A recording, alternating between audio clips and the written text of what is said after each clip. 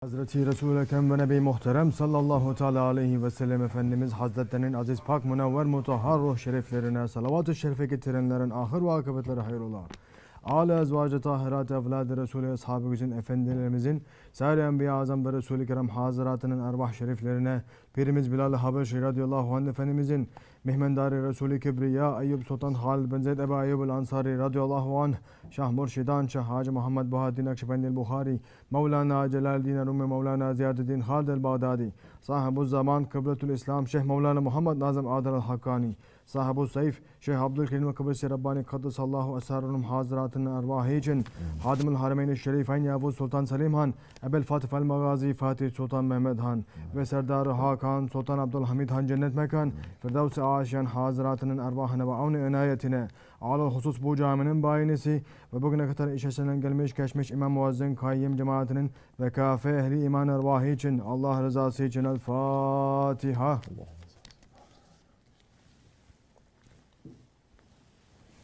أعوذ بالله من الشيطان الرجيم. بسم الله الرحمن الرحيم. إن الله وملائكته يصلون على النبي. يا أيها الذين آمنوا صلوا عليه وسلموا تسليما. اللهم صل على سيدنا محمد وعلى آل سيدنا محمد. الله أكبر الله أكبر. الله أكبر الله أكبر.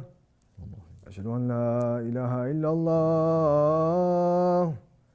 أشهد أن لا إله إلا الله. أشهد أن محمدا رسول الله. أشهد أن محمدا رسول الله. هيا على الصلاة. هيا على الصلاة. هيا على الفلاح. هيا على الفلاح. الله أكبر الله أكبر. لا إله إلا الله.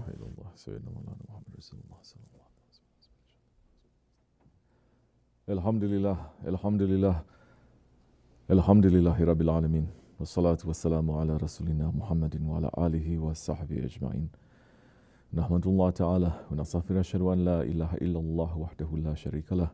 نشهد أن سيدنا محمدا عبده وحبيبه ورسوله صلى الله عليه وعلى آله وأزواجه وأصحابه التابعين خلفاء الراشدين بعد. من بعده وزيمات على تحقيق وخصوصا منهم على الميت خلفاء رسول الله تحقيق أمراء المؤمنين. حضرة أبو بكر وعمر عثمان وعلي وعلى باقي أصحاب التابعين يريد الله تعالى عليهم أجمعين يا أيها المؤمنون الحاضرون. اتقوا الله تعالى فإن الله مع الذين اتقوا الذين هم محسنون. الحمد لله رب العالمين الصلاة والسلام على أشرف الأنبياء والمرسلين سيدنا مولانا محمد وعلى آله وصحبه أجمعين All praises are due to Allah Rabbul Alameen.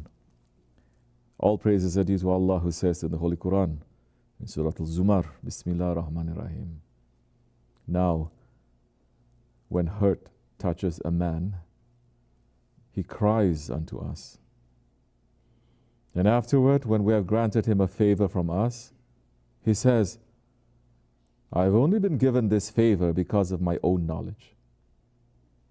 No, but it is a test. But most of them do not know. Those before them said the same, but all that they had earned did not help them. But the evils that they earned struck them down. And those who have done zulm from these people, the evils that they earn will strike them down as well. They cannot escape. Don't they know that Allah enlarges the risk for whom He wills and tightens it for whom He wills?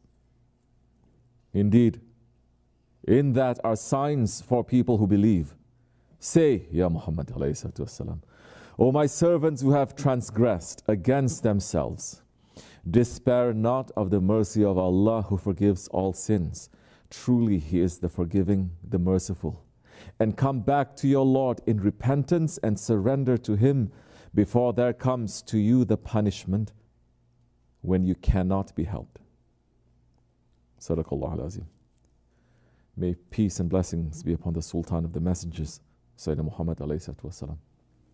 Once, Holy Prophet wasalam, heard the Sahabis speaking about the rank of Ibrahim Halilullah and Musa Najiullah and Isa Ruhullah and Adam Safiullah.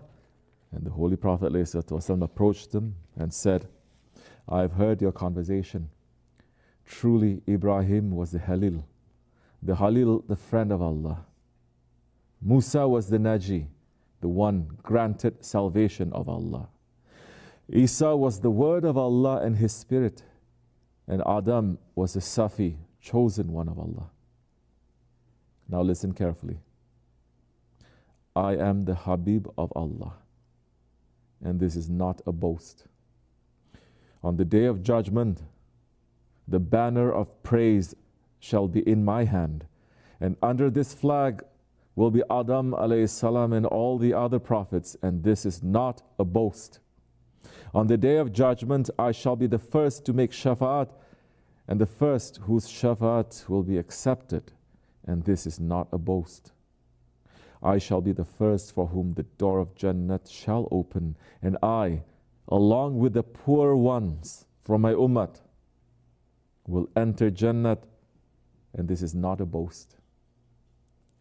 I am the most dignified with Allah from all those who have ever lived and all those who shall ever live.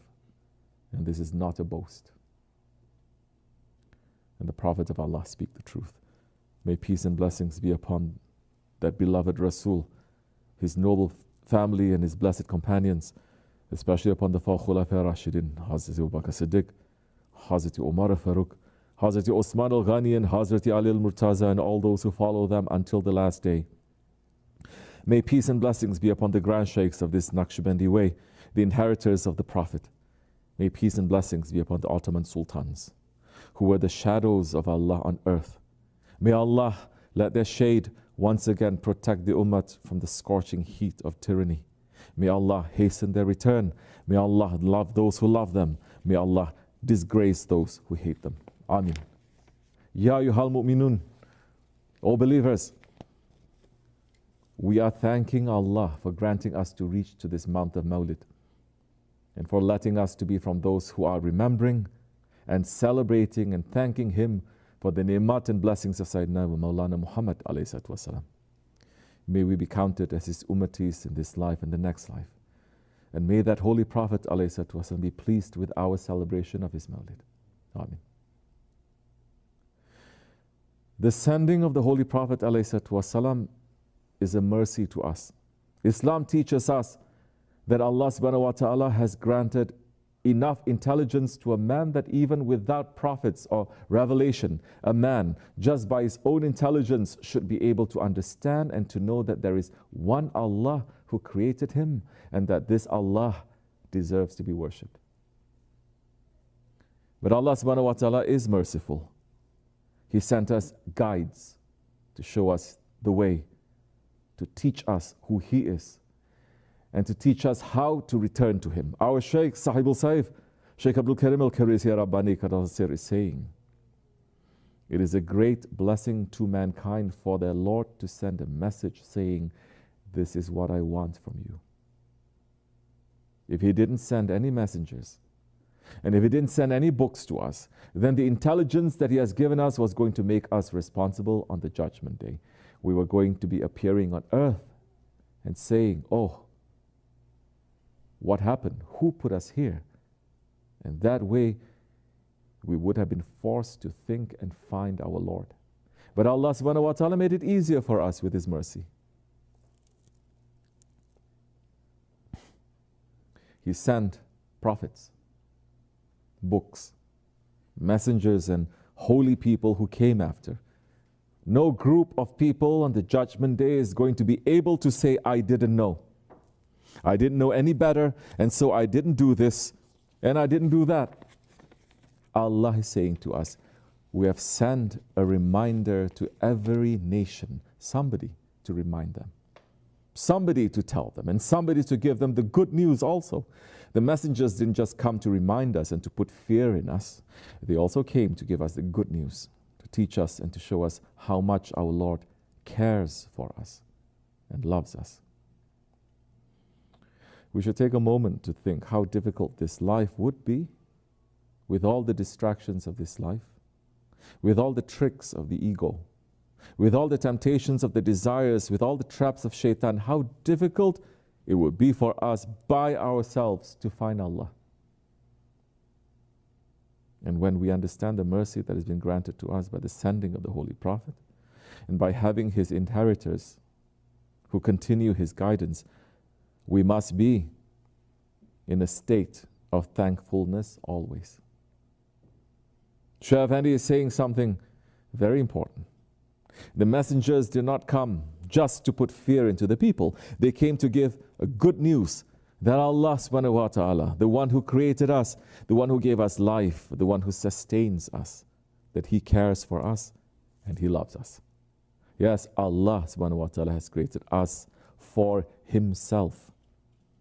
And the reality of that creation is that He has created us out of His love and to and for us to return that love. Sahib al Saif is saying, if a man is not showing any love back to the Lord who is giving everything, that one is a kafir. The kafir, the unbeliever, is that one. 24 hours a day, the Creator is sending His mercy, His rahmat. Everything around us and everything in and out of us is because of His mercy. If you are not returning that love, even with just words, by sitting somewhere saying, Oh my Lord, you love me and I love you, then for that one it is better to be under the earth than to be above it. And our Grand Sheikh Sultan al Awliya, Shaykh Maulana Muhammad Nazim al Haqqani, Qadas Nasir, is saying about this.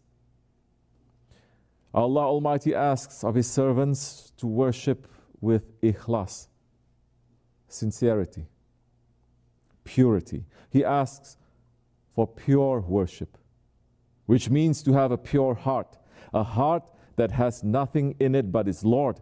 Each of us knows which side of himself is not true, or which of his characteristics is not good. We must strive to have pure hearts. That is jihad. To fight with one's bad characteristics and change them into good ones. Everything that occupies your heart and keeps you from your Lord makes your heart impure. You must try to keep everything away from your heart except for Allah. We say that the heart is for Allah alone. Man is created for the love of Allah Almighty. Anytime you put your love in this dunya, it will be wasted. But if you put your love with Allah, if you put your love with the Prophet, if you put your love with your Shaykh or with your fellow believers, you may find that love here and hereafter. It is never going to be wasted. Love is the most precious, most valuable, most expensive thing that the sons of Adam they have been given. And one of the tricks and traps that shaitan comes with us is to take a man to the place of depression, of giving up, of despair, and to make a man lose his hope and his love in Allah subhanahu wa ta'ala. To lose hope in the mercy of Allah, that is the sunnat of shaitan. And that is not true. When a person loses hope, he stops trying to return to Allah. But Allah subhanahu wa ta'ala is saying to us, O son of Adam, as long as you call upon me and ask of me, I shall forgive you for what you have done, and I shall not mind. O son of Adam, were your sins to reach the clouds of the sky, and were you then to ask forgiveness of me, I would forgive you. O son of Adam, were you to come to me with sins nearly as great as the earth, and were you then to face me ascribing no partner to me. I will bring you forgiveness nearly as great as that.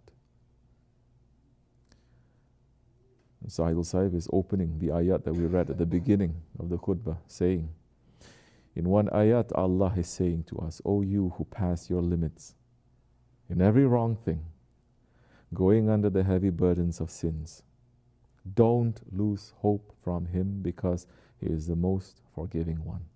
You will find Him forgiving for you whatever you have done as soon as you turn to Him. So the forgiveness and the mercy of Allah is there, but there is a condition. We must turn back to Him. We must turn our face away from everything else, away from our dunya, towards our Mawla, if we want to be granted that mercy. For the one who leaves his ego outside, for the one who puts his ego outside, the dargah is not a dargah of despair. Turning back to Allah in reality means trying to make Allah subhanahu wa ta'ala pleased with us. And trying to return that love to Allah. Sahib al is saying, if you are not making Allah happy with you, then the whole world is not going to give you the best of it. It's only going to give you only the headaches of it and the burdens of it. Because the world has also been ordered by the Creator Allah subhanahu wa ta'ala that those who run after you run away from them, cheat them, and fool them, saying to them, I am yours, come, come. And they will be busy with you, running after you all the time, but never give any real treasure to them. Keep them wandering, keep them in pain, keep them in suffering, and keep them running after you. Any minute, any second they turn away from you and they turn their faces towards me, then put all the treasures under their feet. This is the order that Allah has given to this world. Except for mankind, all other creatures are obeying the order, except man. Man has been created in a Ahsani Takwim, the most perfect one, but the man is the one that is disobeying the order. All other creatures and everything that you are seeing, alive or dead, to you is dead. But in the divine presence, everything has a life. Everything in existence has a life in their own world. Everything are obeying that order. So Allah subhanahu wa ta'ala has ordered to this world and this is what this world is doing. Anyone who leaves Allah and runs after the world just gets tired. Tired, tired, tired, and in the end, they retire, and after that, they become retired to the other side. What is the benefit of this world then? What did you think? You must think if everything was given to us, if the whole world was given to us by tonight, what are we going to do if we don't have Allah? What are we going to do if we don't have Islam? What are we going to do if we don't worship? What are we going to do then? Sit and eat non-stop and sleep non-stop? Your life has no meaning then. When we are running to live with the love of Allah, we become alive. We may be having the most painful lives, but there is a sweetness to that because our Lord is happy with us and we become alive. You can get this whole world, but when there is no love of Allah, everything becomes dead.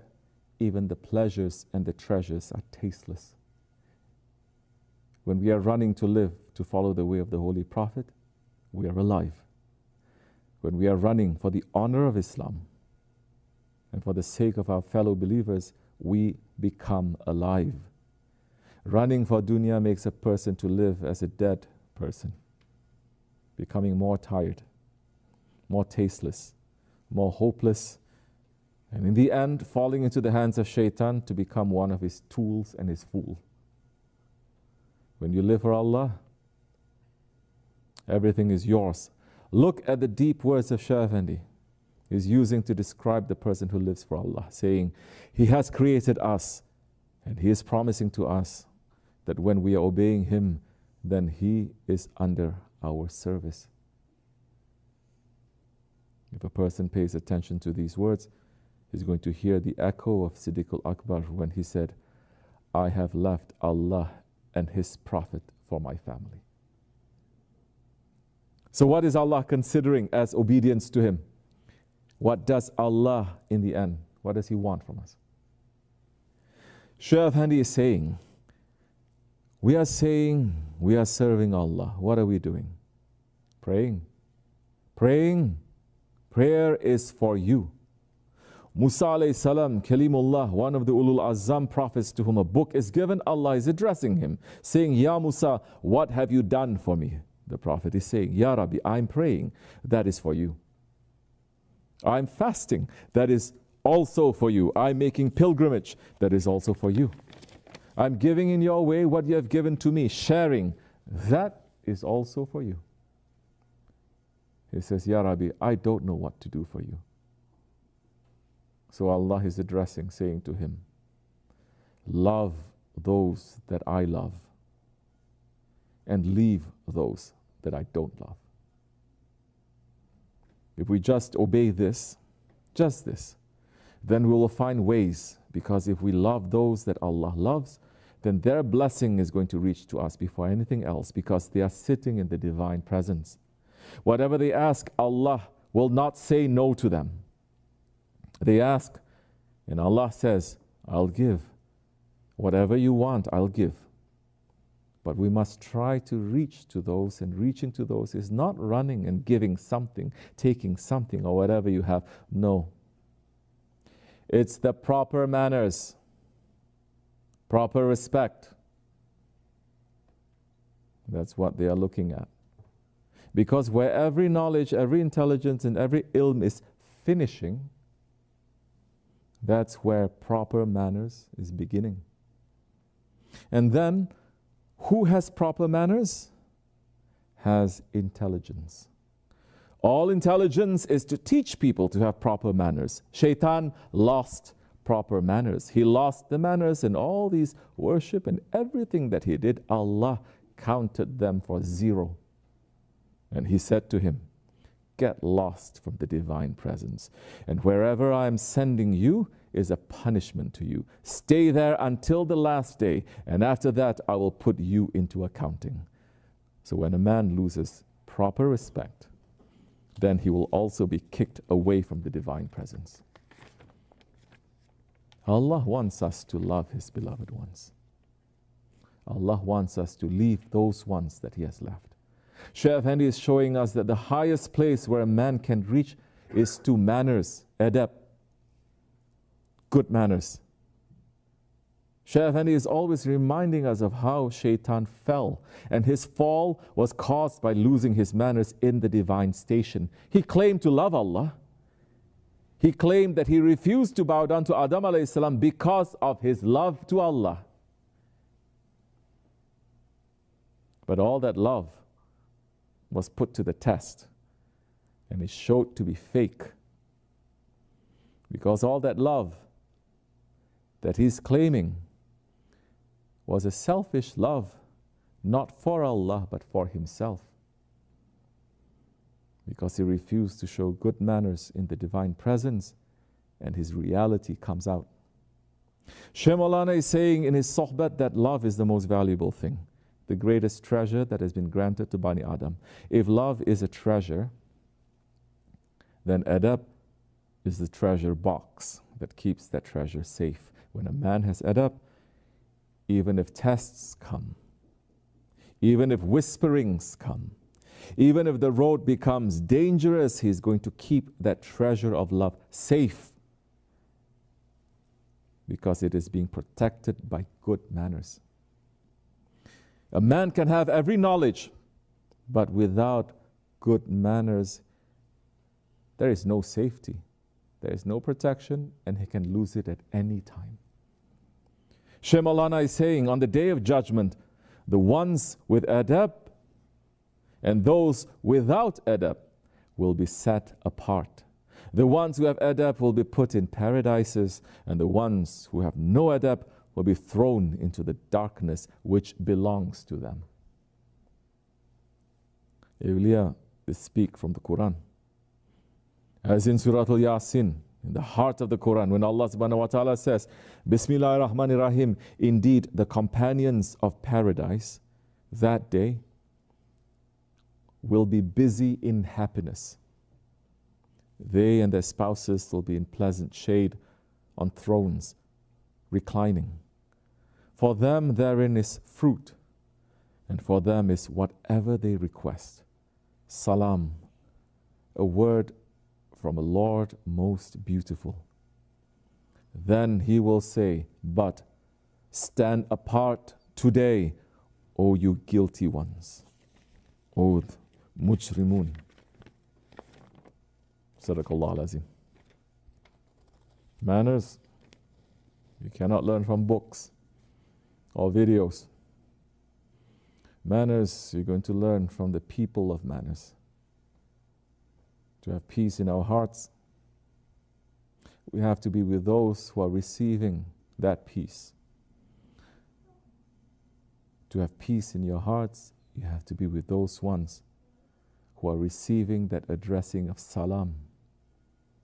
Sahib al is saying about the Sultan of the Prophets. Prophet ﷺ is saying, O my Lord,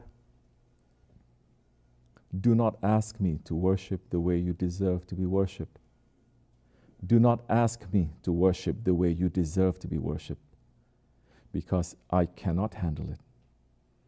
He also said, Oh my Lord, don't leave me in the hands of my ego, even for the blink of an eye. Don't leave me to my ego for even that much because I'm fearful that I will lose.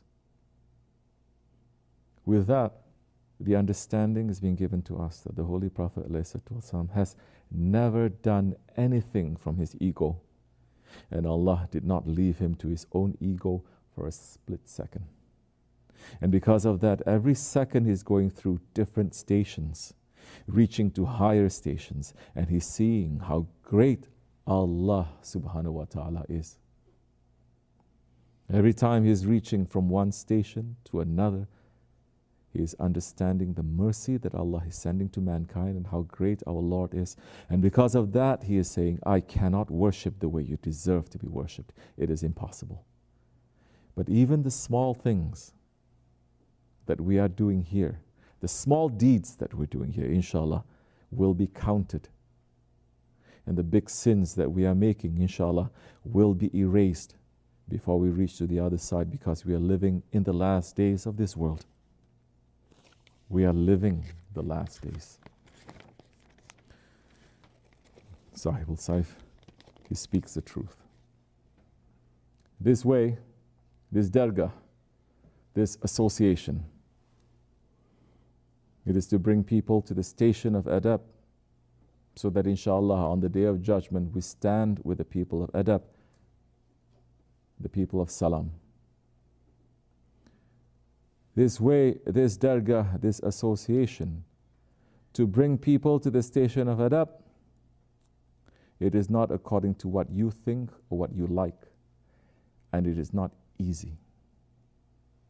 Shaitan and your ego will rebel and will scream and shout to you for you to have hate and doubt to those same ones that yesterday you were kissing their hands and understanding that they are bringing you to Allah.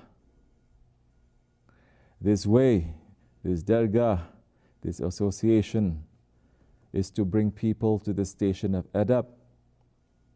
But the way to that high station is not something that is so simple and easy for people to reach. It is easy with their spirit, but with their ego, it has no place here. We're asking that we stand with the people of Adab and the people of Salam, and not to stand with the Mujrimun. We are in the way now. Now, it is our duty to follow. It is our duty to learn Adab and to act with manners. When we do that, we are protecting the love between us and our Lord, us and our Rasul, us and our Shaykh more. That time, inshallah, when we pass from this world, we will be able to present that treasure back to them. May we live according to the words of the great Veli Sultan Bahu, who said, A real ashik is one who accepts death at the hands of what he loves. He doesn't turn his face, he doesn't abandon love, even if the price is to bear the slashes of swords. True ashk is the ashk of Hussein and Ali. They sacrificed their lives, but not their ashk. May Allah grant us manners. May Allah grant us to stay with those who will teach us good manners. May Allah grant us true love and may He grant us to protect that love. May we be with our Shaykh in this life and next. May our next life be with Allah's words. Salamun qawlam min Rabbi Rahim. Amin. Astaghfirullah. Astaghfirullah. Astaghfirullah al-azim. Al-azim. La ilaha illa wa qayyum wa atubu ilayh. لا إله إلا الله وحده لا شريك له له الملك والحمد كل شيء قدير لا إله إلا الله وحده لا شريك له له الملك والحمد كل شيء قدير لا إله إلا الله وحده لا شريك له له الملك والحمد لا إله إلا أنت سبحانك لا إله إلا أنت سبحانك لا إله إلا أنت سبحانك سبحان قدوس ربنا رب سبحان قدوس ربنا رب سبحان قدوس ربنا رب دين عند الله الإسلام. مخلوقاتك صلاة مكررة أبدا عدد ما أحصى علمك وملء ما أحصى علمك وأضعاف ما أحصى علمك صلاة تزيد وتفوق وتفضل صلاة المصلين عليهم من الخلق أجمعين كفضلك على جميع خلقك.